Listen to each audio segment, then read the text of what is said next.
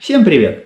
Я думаю, каждый из вас сталкивался с ситуацией, когда вы сходите в туалет, напускаете туда кораблей, пытаетесь их утопить, а они не тонут, будто бы они подводные лодки.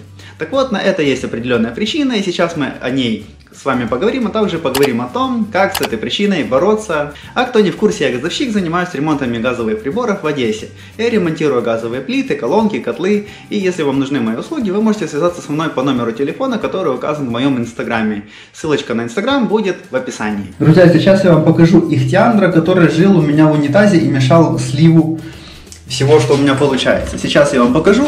Слабонервных прошу удалиться от экрана.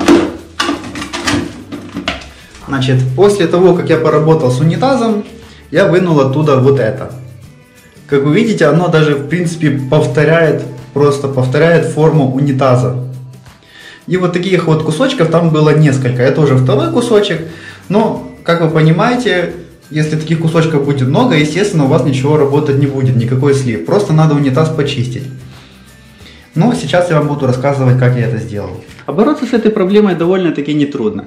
Берете пакетик лимонной кислоты 100 грамм, засыпаете в унитаз и ждете где-то порядка 3 часов. Через 3 часа смываете воду и проверяете. Лучше всего туда засунуть руку в перчатки и пощупать, есть ли у вас эти наросты. Если наросты по-прежнему остались, можно эту процедуру повторить. Если же у вас не получается с лимонной кислотой, можете сделать то же самое с уксусом. Заливайте туда, к примеру, 250 мл уксуса, прям вот уксус туда прям в унитаз и льете. Вот. И опять же оставляете на 3 часа.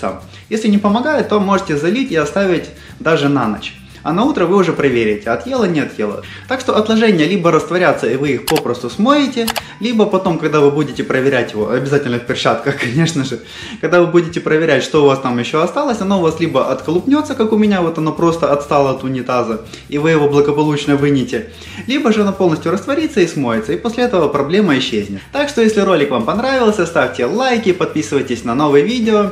Всем пока и до новых встреч!